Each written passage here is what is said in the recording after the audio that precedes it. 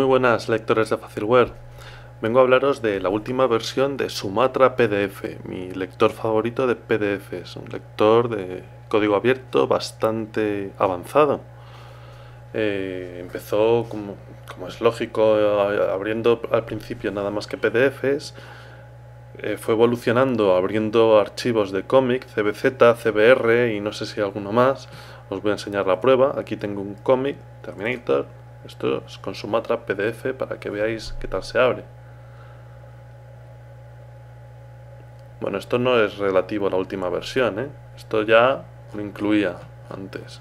Lector de lector de archivos especializados para cómics. Lo que pasa es que he querido recordarlo.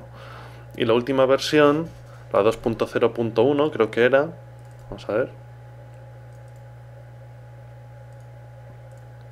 2.0.1 acaba de incluir soporte para archivos .mobi de los ebooks. Archivo .mobi es un archivo muy extendido, como sabréis. Eh, se ve igual que el ACW de Amazon, simplemente que el ACW es, es un fork, por así decir, que la única diferencia que tiene es que creo que no es abierto.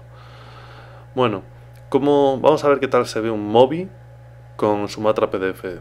No digamos que se ve de la leche, es la primera versión, seguramente lo vaya a ir mejorando, pero cumple su función. Diario de un zombie. Pasamos páginas así, índice.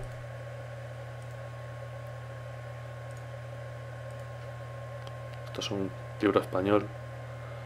Ta ta ta ta ta ta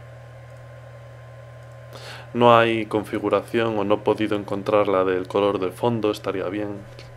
¿eh? Tamaño de la letra. Las opciones que hay no son, son más relativas a PDF. Pero bueno, lo dicho, cumple su función. Un lector de PDF es ahora más completo que nunca, capaz de abrir archivos móvil. Muy recomendable para Windows. Para Windows a mí, para mí es el mejor. Pues nada, un saludo lectores de Facilware.